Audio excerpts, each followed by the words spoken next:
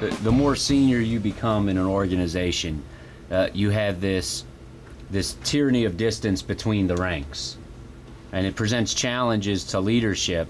And uh, that's kind of what you guys are talking about, and, and that's what kind of Master Chief Compton is is speaking about. And when they say open door policies and all these kinds of things, they're trying to bridge that gap in the tyranny of distance between the ranks, because communication is is a critical, absolute critical element for any organization to be effective.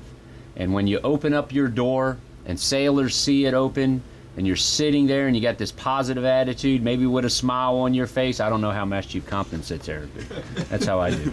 Um, and sailors walk by and, and, and they may or may not have something on their mind. And if they do, and they see that positive leader sitting there, they're probably more inclined to stop and have a conversation.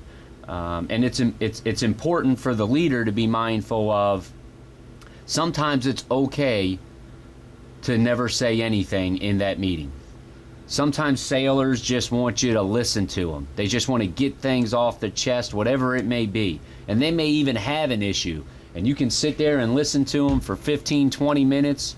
And uh, by the time the what they think is a conversation and really it's just them talking. They've worked them their way all the way through whatever the concern may be and they're leaving with a smile on their face.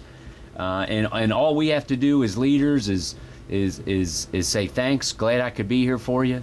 And and that young sailor goes out and they walk the deck plate now with a smile on their face with a positive attitude which is infectious in an organization.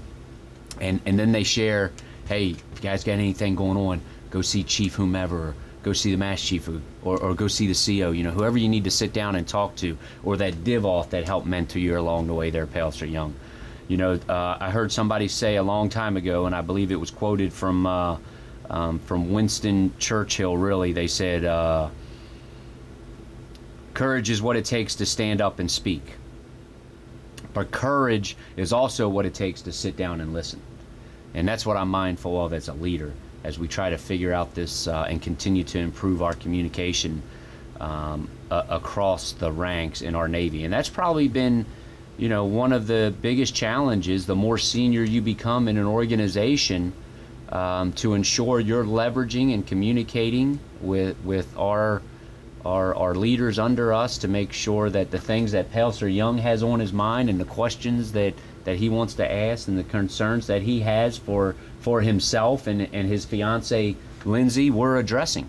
Um, so so th- those are kinds of you know some of the challenges we face as leaders.